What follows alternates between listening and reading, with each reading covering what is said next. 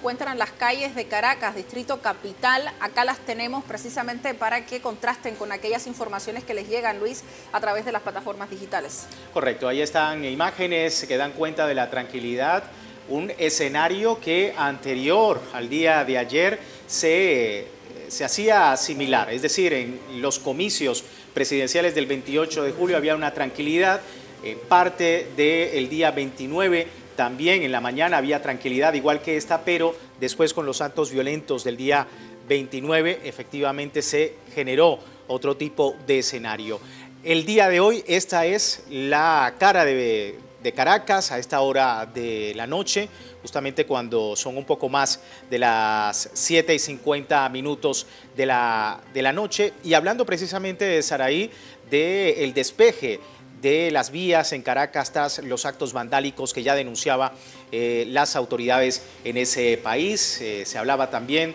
de la participación de la fuerza pública en distintos puntos del territorio caraqueño, retirando material disperso por aceras, calles y avenidas como producto de estas acciones de grupos violentos, desechos sólidos a manera también de garantizar el libre tránsito y tranquilidad del pueblo venezolano y esta es precisamente la gráfica que muestra en este momento la capital de los venezolanos. Lo más importante que resaltamos a esta hora que denota lo que sucede ahora mismo en las calles es la voluntad directa y expresa del pueblo venezolano de no continuar con hechos como los denunciados anteriormente y de apostar por el civismo, por la paz. Y en este caso las imágenes así lo demuestran. De alguna manera es lo que ya habíamos visto este pasado 28 de julio con el acto eh, eh, de votación. Así lo demostraba también el pueblo venezolano yendo a dirimir sus diferencias en las urnas, en cada uno de los centros de votación. Se vivió de la misma manera como ven en pantalla y de esa forma les mostramos a esta hora cómo se encuentran las calles para que tengan la información directa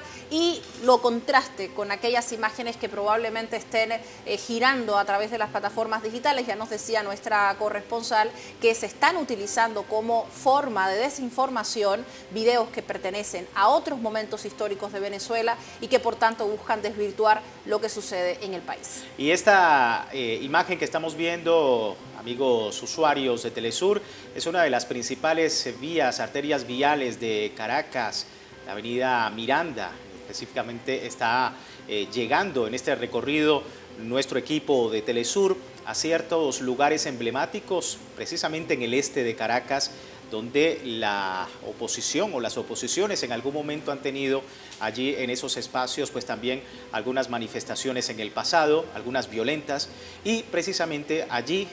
es, es precisamente esta gráfica que estamos observando muy cerca de la Plaza Altamira, de la Plaza del Obelisco, donde efectivamente podemos, eh, a través de estas imágenes, demostrar la calma que existe en Caracas a esta hora. Recordamos también, los organismos de seguridad ciudadana están activados para el despeje de vidas. Eh, Acá la Plaza Francia, Luis. Correcto, ahí está la Plaza Francia, efectivamente, donde en el momento en que se está dando estas imágenes, hay tranquilidad, hay paz, hay calma y como decíamos anteriormente, Sara, los equipos eh, de seguridad ciudadana activados en todo momento para poder brindar la calma y la seguridad tras los hechos vandálicos y eh, esos grupos que actuaron violentamente en la ciudad capital. Ahí sigue haciendo el equipo de Telesur el recorrido para efectivamente mostrar en este momento cómo está la capital venezolana. Imágenes importantes porque tienen una connotación específica el lugar que le estamos mostrando, ¿verdad? La prensa internacional incluso acota en qué lugares específicamente se reúnen estos, estos eh, eh, personajes que se dedican pues a realizar actos vandálicos que además supuestamente pertenecen a otra, a la extrema derecha, lo han demostrado, lo han dicho, se ha demostrado y en ese sentido les mostramos para que puedan ver cómo se encuentra ahora mismo el lugar desde el cual supuestamente surgen. Son imágenes que surgen ahora mismo desde nuestra transmisión en vivo y en directo desde Caracas, Venezuela. Y con estas imágenes vamos a hacer